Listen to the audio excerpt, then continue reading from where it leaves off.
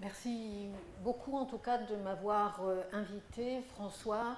J'appuie Elodie Lemoine aussi qui me font la confiance. J'espère que cette confiance ne sera pas mal placée. Voilà. C'était euh, la confiance dans la relation de soins, la confiance à l'épreuve du droit était le sujet de ma thèse. Alors de, de philopratique, je précise que je ne suis pas philosophe, mais je me suis euh, frottée à cette question euh, compliquée et je me demande parfois pourquoi je l'ai fait. Voilà. Alors, vous verrez, c'est un sujet qui est vaste. En 30 minutes, on peut être que que partiel, en tout cas, dans la description de la, confiance. J'espère ne pas être trop réducteur, en tout cas, et je pense que vous avez tous suffisamment d'expérience de ce phénomène pour pouvoir faire euh, des liens euh, vous-même. Quand on commence à travailler sur la confiance, en fait, on est un peu dans la situation des aveugles dans la fable indienne à qui on demande de décrire un éléphant et qui chacun touche un bout de l'éléphant et pense maintenir euh, et pense avoir la vérité. En fait, on n'en tient qu'un bout et on n'en voit jamais euh, la globalité. Alors je ne suis pas rentrée dans la confiance par la question de la méfiance. D'abord, ça aurait été trop démoralisant à mon avis, parce qu'il y a beaucoup de raisons de ne pas faire confiance. Mais je suis rentrée dans la confiance parce que d'abord, elle est première. Il faut avoir bien des raisons euh, d'avoir été déçu, négligé ou trompé pour se méfier et douter. Malheureusement, pour certains, cette expérience va se faire très tôt dans la vie. Nous sommes vulnérables parce que nous sommes altérables par l'âge, la maladie ou l'action d'un autre. Nous sommes fragiles dans ce monde parce que nous ne savons pas tout et nous ne pouvons pas tout, sans compter que nos désirs et la réponse à nos besoins dépassent bien souvent nos capacités individuelles. C'est la rencontre avec autrui qui va déterminer notre existence, qui va construire notre individualité, qui constitue aussi notre humanité, que nous allions vers l'autre par amitié, par nécessité ou par intérêt, dans la sérénité ou dans l'inquiétude, que ce soit pour notre bien-être ou pour notre survie. Et se lier à autrui, euh, comme François le disait tout à l'heure, que ce soit par des liens d'amitié, de confiance, ou de droit, pour faire mieux euh, et pour faire plus, est la base de toute la construction communautaire, sociale, économique et politique. C'est en fait la grande affaire des hommes de tout temps.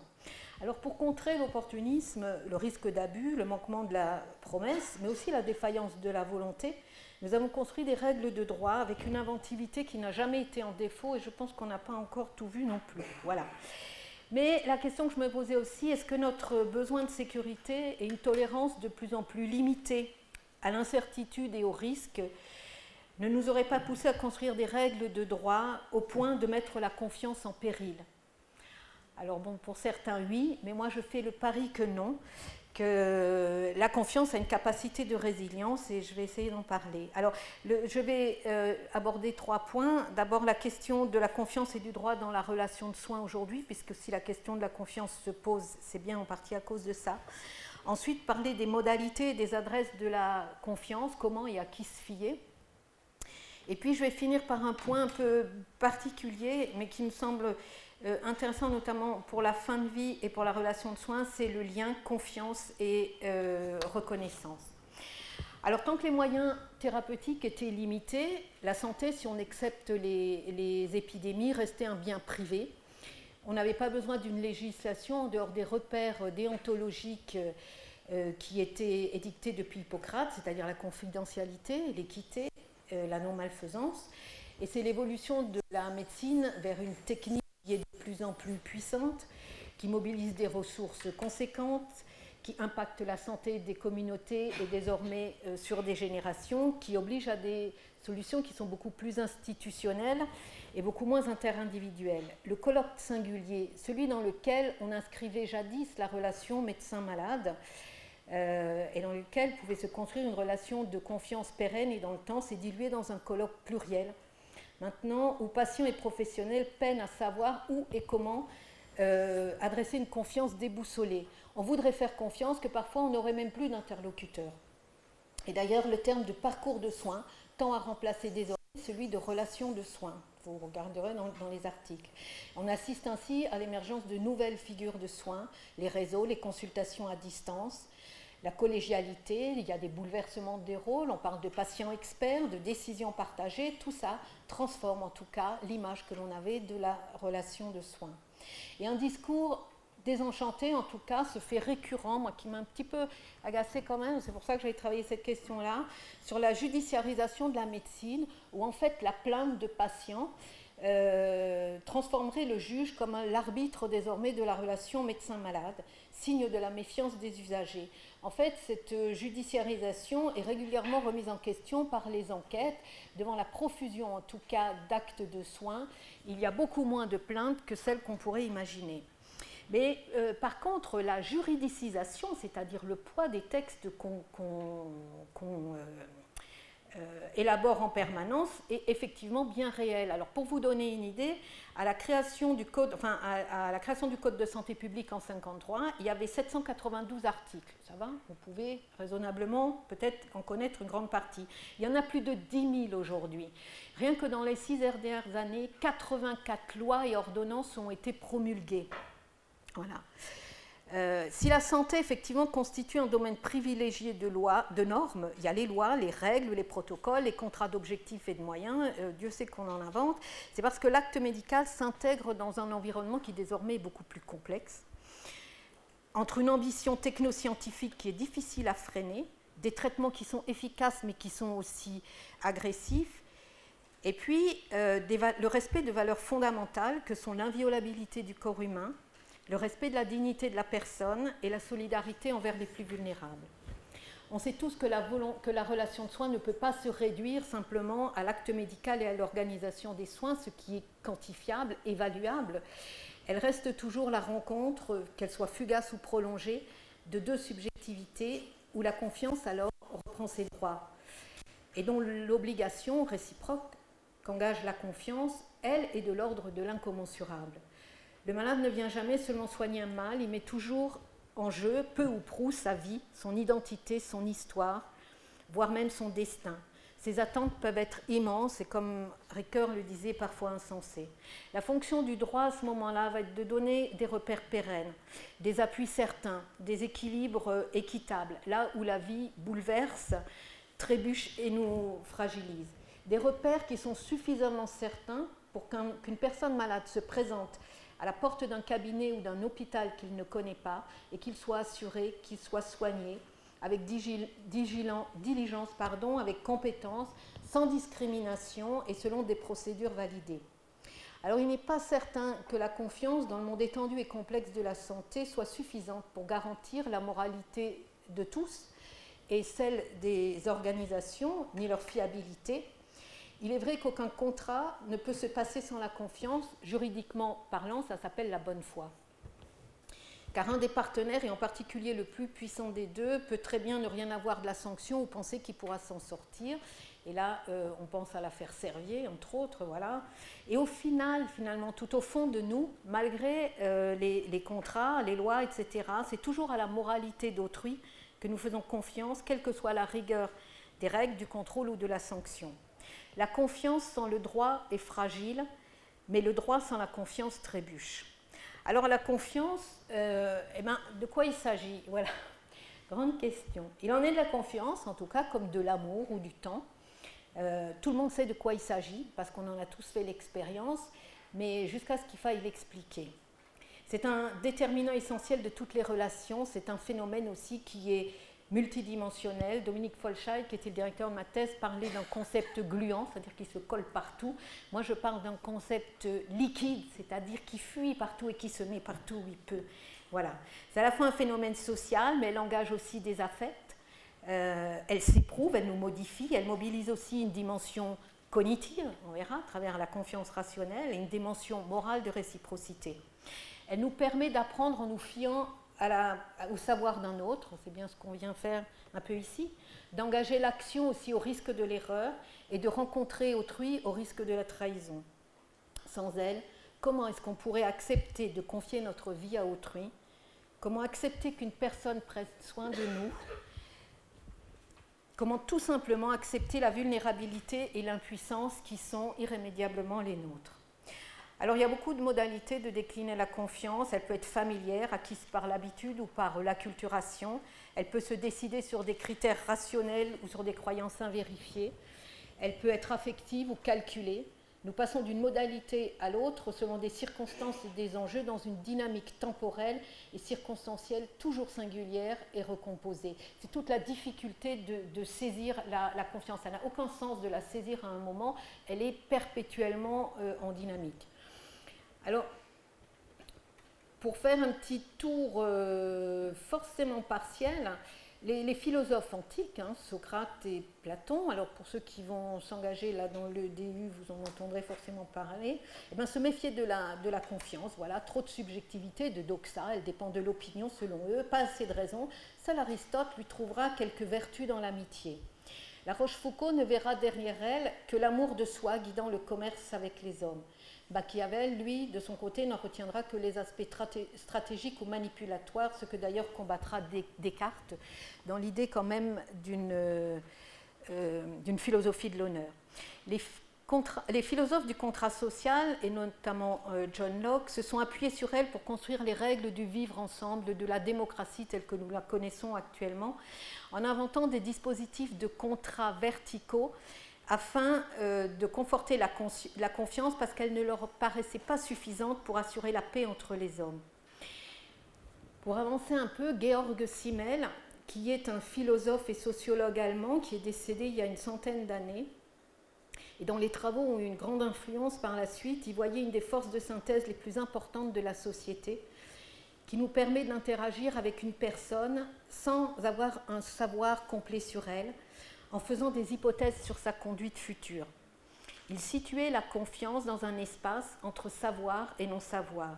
Si on sait tout, la confiance est inutile. Si on ne sait rien, on est dans la soumission. Alors si vous n'avez qu'un livre et le temps de lire qu'un seul livre sur la confiance, je vous conseille celui-là. Par chance, il est tout petit. Euh, c'est Secrets et Sociétés secrètes de Georg Simmel.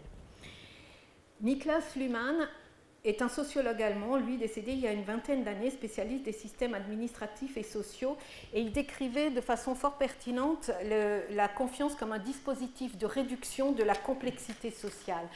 Euh, le monde est vaste, complexe et notre expérience limitée, et donc on va faire comme si le monde était plus simple qu'il n'est, sans en être dupe, pour pouvoir avancer euh, vers lui.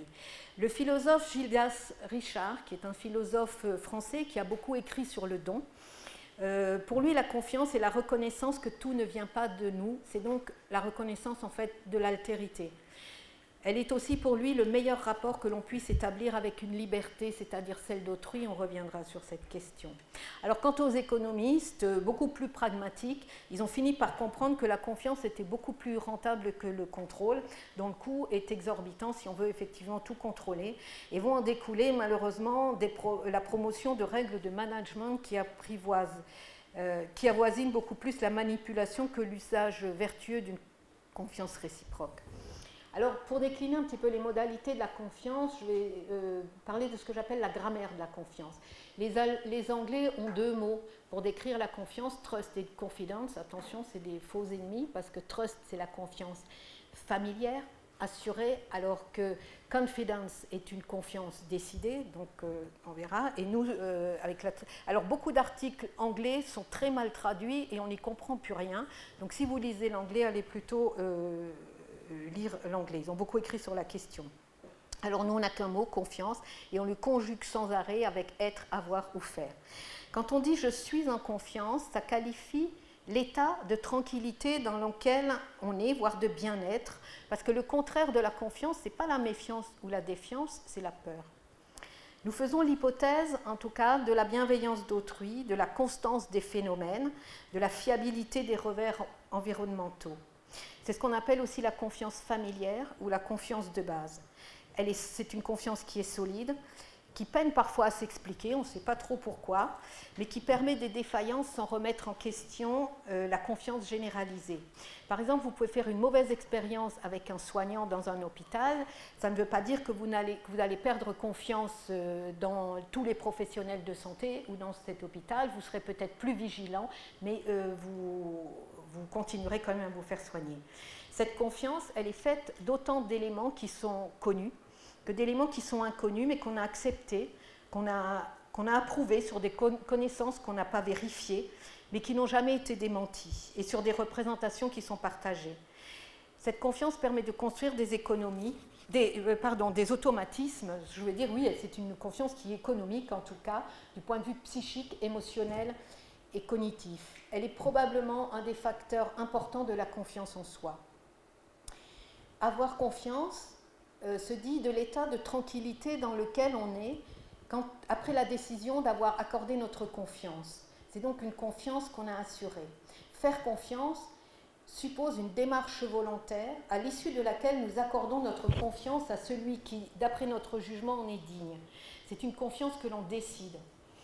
Euh, c'est là aussi que, va se poser euh, la, confiance euh, morale. On engage notre confiance sur des critères qui nous paraissent crédibles, ou en tout cas partiellement fiables, euh, en essayant d'exercer notre discernement afin de limiter l'incertitude ou de réduire l'inconnaissance, d'où d'ailleurs le succès des statistiques pour nous aider dans notre quête. La réputation, la crédibilité, la sincérité, la fiabilité, la compétence, mais aussi le respect des valeurs morales qui nous semblent importantes vont nourrir l'élaboration de ce jugement, qui peut aussi intégrer une part de croyance, et je pense que probablement Jean-Jacques Funenburger en parlera. À cette base cognitive, peut s'ajouter une base affective qui relève d'un attachement émotionnel qui est toujours singulier, qui est lié aux circonstances et aux enjeux de la rencontre, pour celui en tout cas qui engage sa confiance. Ceci est particulièrement présent dans la relation amoureuse, mais surtout dans la relation de soins où le patient confie son corps, son intimité, bien souvent sa vie. Et c'est de ce type d'investissement que la confiance envers le soignant tire sa force et sa pérennité et que peuvent alors être tolérées certaines défaillances. C'est parfois ce qu'il y a de plus énigmatique. Le patient peut ne pas être dupe de ces défaillances et néanmoins les tolérer. L'aspect euh, rationnel de la confiance, qui fait une place au doute et à la méfiance, peut sembler particulièrement hypertrophié aujourd'hui. C'est en raison, comme je l'ai dit au début, d'une moins grande acceptation des aléas et des risques, mais aussi les risques sont beaucoup plus nombreux qu'avant, euh, mais aussi parce qu'on a accès à beaucoup plus d'informations et qu'il faut gérer toutes ces informations, sans compter qu'il y a tendance aussi à responsabiliser beaucoup plus le patient, à la fois dans ses décisions, mais aussi dans ses conduites préventives. Alors, quel que soit euh, l'état de notre enquête ou de notre délibération, à un moment, on va bien être, euh, on va poser un jugement de confiance sur notre propre capacité, nous, à, à juger et à assumer ces risques et, aléas. Ce moment-là est toujours une décision autonome, même dans une situation de forte contingence et même lorsque la confiance est abandon à l'autre. On ne peut pas être obligé de faire confiance. À un moment, toujours, il y a une décision totalement autonome qui nous engage. Et la preuve d'ailleurs, quand la confiance est trahie, on en veut à l'autre, certes, mais bien souvent, on s'en veut encore plus à soi-même parce que dans la confiance trahie, il y a une double perte, à la fois celle de la confiance en l'autre et en l'estime de soi. La confiance dans, l'inconnu se transmet plutôt par acculturation plus que par l'expérience individuelle qui est toujours limitée. Par exemple, pour la santé, nous, adoptons de façon générale les représentations de la maladie euh, et des traitements du milieu dans lequel nous avons été élevés. Euh, les premières expériences de la maladie, on les a fait guidées par nos parents et leur confiance dans une certaine médecine, dans certains professionnels, en tout cas, nous allons les adopter, nous les avons crus, malgré la crainte des piqûres, malgré la crainte de la douleur, etc., parce que nos parents ne nous avaient jamais euh, fait mal, exposé au mal volontairement. Et faire confiance à une médecine alternative, étrangère, chinoise pour un occidental ou occidental pour un chinois, par exemple, c'est aussi, c'est un choix généralement argumenté que nous faisons beaucoup plus tard sur un tas d'autres critères et je pense que vous allez l'aborder un petit peu. Jean-Jacques, hein, voilà. Alors, la confiance s'affirme toujours dans le présent. J'avais confiance, j'ai eu confiance, la confiance n'est plus. Quand je dis j'aurai confiance, on attend le si, et dans l'intention, la confiance n'est pas. C'est bien pour ça que les sondages se trompent tout le temps. Dire je te fais confiance est un acte performatif. Au moment où la phrase est prononcée, la confiance est actée. Cette phrase Docteur, je vous fais confiance est à la fois une déclaration et une élection qui engage autant celui qui la prononce que celui à qui elle s'adresse. Et d'ailleurs, c'est l'attachement à la liberté de choix du médecin, tant par les professionnels que par le patient, est significatif du besoin de cet engagement réciproque initial sur lequel va pouvoir se construire, ou pas d'ailleurs, une relation de confiance. C'est celle qui initie le pacte de confidentialité qui a été décrit par euh, Paul Ricoeur dans les trois niveaux du jugement médical. Je vous fais confiance, c'est une invitation à la réciprocité, une invitation à honorer cette euh, confiance. Je vais vous citer un passage de, de Simmel. Il y a dans la confiance qu'un être humain porte à un autre une valeur morale aussi haute que dans le fait de ne pas décevoir cette confiance. Et cette valeur est peut-être même encore plus libre et plus méritoire, car lorsqu'on nous a fait confiance, nous sommes presque engagés par un jugement porté par nous, sur nous par avance, et il faut déjà être positivement mauvais pour le décevoir. Mais la confiance se donne, on ne peut l'exiger qu'on nous l'accorde, comme nous exigeons de ne pas être, déçus une, fois qu'elle aura été accordée. Alors par contre, on peut aussi vouloir forcer l'obligation d'autrui en affirmant publiquement sa confiance. Quand on dit à un médecin, une grande visite par exemple, docteur, j'ai entièrement confiance en vous, vous allez me sortir de ce mauvais pas je pense que d'un seul coup, le poids sur les épaules du médecin va être dur. Et que s'il trahit cette confiance, elle sera publique. C'est très difficile. Celui qui fait confiance doit être conscient de la charge morale, mais aussi concrète qu'il impose à l'autre. La confiance qu'on accorde n'est pas simplement abandon à l'autre. Euh, c'est une forme de paresse, le léger travail, tout ça c'est entre guillemets, de celui qui ne se surmonterait pas lui-même. C'est Tillard qui disait ça dans un livre très intéressant. Euh, s'il y a des, philosophes, des, psychologues dans la salle, euh, Les aléas de la confiance, écrit par Tillard, il parle de la psychanalyse. Voilà. faire confiance à autrui est aussi une responsabilité en ce qu'elle oblige autrui et les actes surérogatoires, c'est-à-dire ce qui va dépasser le devoir même de ce qui est attendu, ne sont pas rares dans les relations de confiance. L'obligation morale peut dépasser le simple devoir, aller parfois jusqu'au sacrifice. La dette est alors infinie, et c'est bien la sagesse du droit des contrats d'avoir posé des limites raisonnables aux obligations mutuelles. Alors cette possibilité de dépasser en tout cas les obligations, c'est la grandeur de la, de la de la confiance, mais c'est aussi son piège. Et je pense que là se noue aussi une des dimensions morales de la confiance. Alors, à qui se fier maintenant?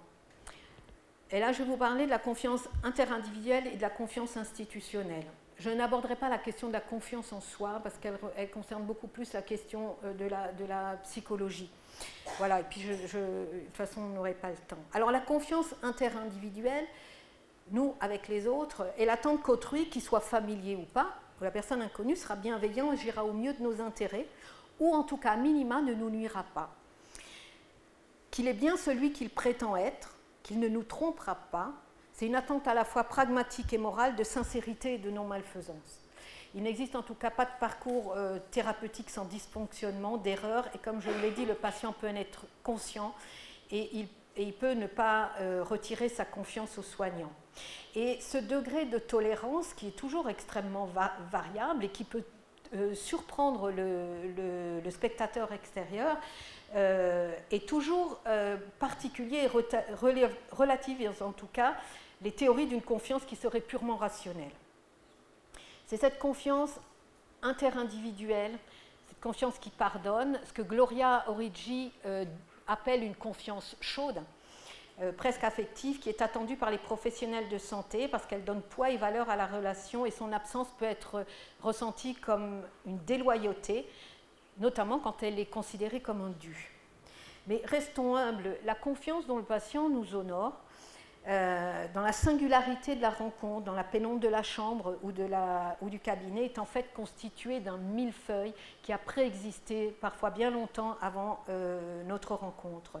Des moments de confiance, de doute, de méfiance, dont nous sommes à la fois les héritiers impuissants, mais aussi des créateurs responsables. La confiance dans la science comme porteur porteuse de progrès, la médecine comme thérapeutique, la confiance dans le système de soins, dans la formation des professionnels, dans les lois, dans le service, etc. Tout un enchâssement de confiance. Voilà, qui font qu'à un moment, la confiance va pouvoir naître entre vous et euh, le patient. Mais en fait, qu'est-ce qu'on montre, nous, actuellement, de la médecine, des institutions, de nous-mêmes, pour être en droit d'exiger la confiance des, patients? Et notamment la confiance institutionnelle qui tire, elle, son ancrage de la stabilité de l'environnement dans lequel nous avons des repères qui sont connus, fiables, suffisamment pérennes. Il s'appuie sur la confiance des autres dans le système parce qu'on ne peut pas exercer nous-mêmes un contrôle suffisant. Elle offre un socle où la confiance interindividuelle peut se déployer. C'était bien le projet des philosophes du contrat social. C'est cette confiance qui va nous permettre de construire notre vie sociale. Petites et grandes décisions qui nous engagent sur la durée, parfois d'une vie, vont dépendre des règles de, fiabilité, euh, de la fiabilité des règles sociales et juridiques. Et le paradigme de cette confiance est bien la confiance dans la monnaie et dans le crédit. En tout cas, là, je vous rapporte à votre expérience quotidienne et à ce qui se passe en politique actuellement. Le contrôle est mal, qui est malvenu dans les relations interpersonnelles comme signe de la, de la méfiance. Allez regarder un peu ce qu'écrit votre mari dans son, sur son iPad et vous verrez. Et paradoxalement, en tout cas, ce qui permet de garder la confiance dans les institutions. Et c'est la défaillance des grands euh, systèmes de contrôle.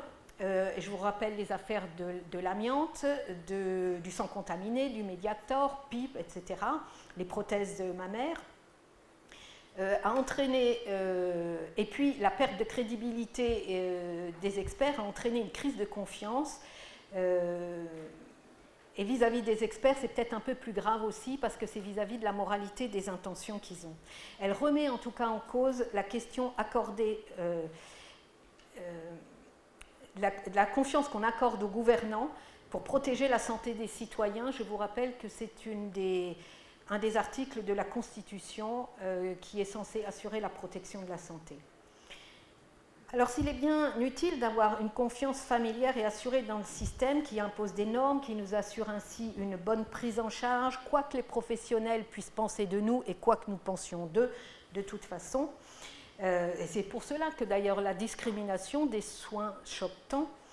Euh, a contrario, on peut aussi avoir confiance dans certaines personnes parce que, parce que nous espérons qu'elles vont transgresser des règles et des normes qui nous seraient préjudiciable ou injuste ou parce que l'environnement est hostile. Mais cette confiance interindividuelle est beaucoup plus fragile et la dépendance à l'égard d'autrui est alors très grande. Et c'est là qu'on comprend toute la justesse de la phrase de Ricoeur qui décrit l'éthique comme une visée de la vie bonne avec et pour autrui dans des institutions justes. Alors, je vais finir par parler de cette question je suis un peu réducteur, je suis vraiment désolée, je vous donne des petits repères comme ça, des petits flashs. Euh, là, je vais vous parler de la... Parce que ça me semblait intéressant de terminer par là pour ouvrir à, la, à ce qu'abordera ensuite Jean-Jacques Vunenburger sur la question de la confiance et de la reconnaissance.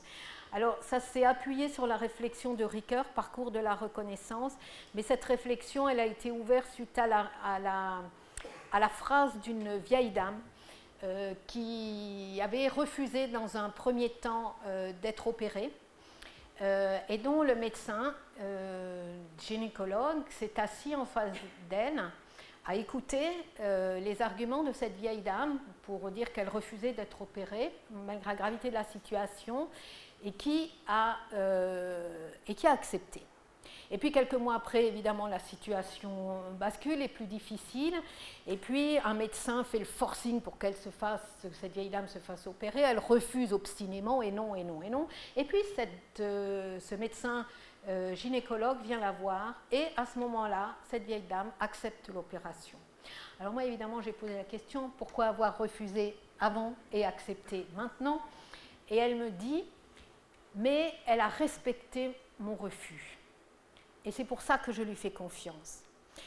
Et puis, euh, à la fin de la rencontre qu'on a eue la première fois, elle m'a serré la main, on s'est regardé et on s'est reconnu. Voilà. Et moi, cette phrase a été extraordinaire. Quelque chose s'est passé entre ce médecin qui fait que cette euh, vieille dame a accepté ensuite, malgré les risques dont elle était tout à fait consciente, l'opération. Donc, il ne faut pas craindre, un refus de soins peut être justement ce qui va initier une relation de confiance. Alors, confiance et reconnaissance. Au début de la maladie, du parcours thérapeutique, c'est évidemment la confiance rationnelle qui est priorisée dans une recherche assez pragmatique de notre meilleur intérêt. Voilà, le meilleur médecin, compétence, etc., etc. Sur des attentes qui sont précises. Mais en fin de vie, quand l'espoir de guérison s'est éloigné, eh bien, la confiance peut jouer un tout autre rôle. La maladie grave convoque le médecin et le patient à l'attestation de ce qui est, la reconnaissance de la maladie, le fait de la maladie, mais aussi à l'acceptation de ce qui est à venir, que la transformation soit due par l'œuvre de la maladie ou par l'action thérapeutique. Le médecin peut très bien prévoir et informer de tous les, effets secondaires, euh, les séquelles, les handicaps. Il ne sait rien de la façon dont ceux-ci seront vécus par le patient, ni le sens que cela prendra pour lui. Et ce dernier, le patient, euh, ne connaît pas les ressources qu'il pourra ou non déployer au moment voulu. La vie déborde en tout cas sans cesse nos anticipations entre incertitude, inconnu, un non-savoir qui est irréductible, et avec comme seul recours en tout cas pour avancer, et comme étayage la confiance réciproque et une reconnaissance mutuelle. La maladie, qu'on le veuille ou non en tout cas, assigne à un travail identitaire. Les repères et nos représentations internes et externes seront bouleversés. Je ne me reconnais plus. Parfois, autrui ne nous reconnaît plus. Ce sont des phrases que l'on entend. Euh, même si je guéris, je ne pourrais pas faire comme si rien ne s'était passé, comme si je n'étais pas passé par là. Et je pense que c'est la dimension émancipatrice de la confiance du soignant, mais aussi de l'entourage envers le patient qui va soutenir ce parcours qui est fragile, parfois chaotique, entre la sécurité de la même, mêmeté, je suis toujours le même, et euh, le risque de l'ipséité, est-ce que c'est encore moi? Et on va passer de la méconnaissance de soi à la perte et à la reconnaissance. Alors donner confirmation de la personne que le malade qui... Euh, il s'agit là de donner euh, confirmation de la personne que fut le malade pour qu'il puisse aller euh, vers la personne qui va le devenir et reconnaître des droits au patient. C'est pour ça que cette chose-là est importante. Lui reconnaître une place de sujet dans le partage de la décision en est probablement la première étape. Reconnaître des capacités qui sont toujours présentes, même amoindries ou modifiées.